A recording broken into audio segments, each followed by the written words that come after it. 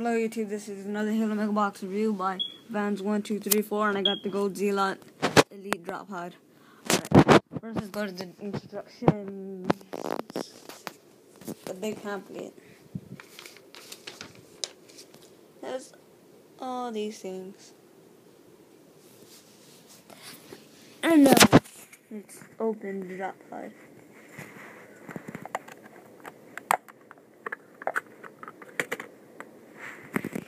There it goes. He has a, a needler, two plasma grenades, and another weapon. He's a Zealot. He's pretty cool. He has uh, thin green eyes. I don't know. I didn't check. I like his armor a lot and how they did designs on the plasma grenades and on the needler. It's pretty cool. And I like how they did the designs for the drop pod all scratched up.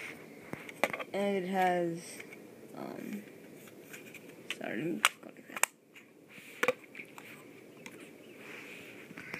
has bullet holes in the front and it has in the the covenant symbol on each side. So yeah I really like this.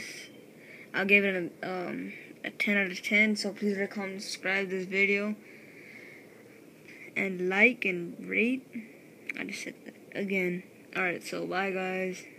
I'll do a review on, on next time if I get another um another set because I might get it on Sunday. Alright.